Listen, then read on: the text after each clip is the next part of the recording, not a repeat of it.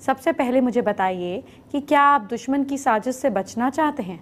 मंगलवार के दिन मंदिर जाकर हनुमान जी के बाएँ पैर और बाएँ कंधे का सिंदूर लेकर आएँ। अब इस सिंदूर को घर या ऑफ़िस के मुख्य द्वार के बाहर ऊपर की तरफ़ श्री राम उससे लिख दें। ऐसा करने से आपके घर या ऑफ़िस पर लगी बुरी नज़र और दुश्मन की हर साजिश अपने आप नाकाम होना शुरू हो जाएगी। लेकिन याद रखिएगा, मैं कोई भी उपाय किसी को नुकसान पहुँचाने के लिए कभी नहीं बताती हूँ। आपको सुरक्षित रखने के लिए उपाय होता है।